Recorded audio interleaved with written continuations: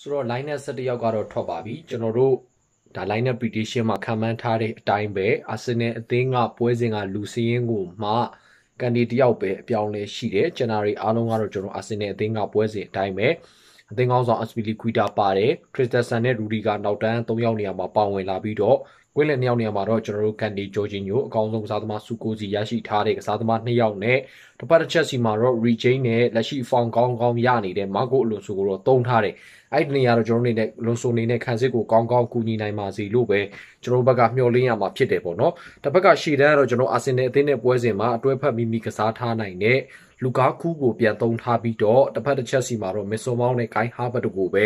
ရန်ပြီးတော့သုံးလာတာကိုကျွန်တော်အနေနဲ့တွေ့ရမှာဖြစ်ပါတယ်ပရိသတ်တွေအနေနဲ့ဒီ line up ပေါ်မှာဘလို့အမြင်တွေရှိကြလဲ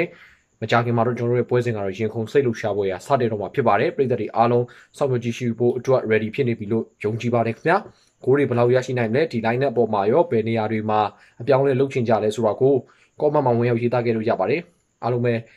ပြန်တွေ့ပါမယ် see you next video ပါ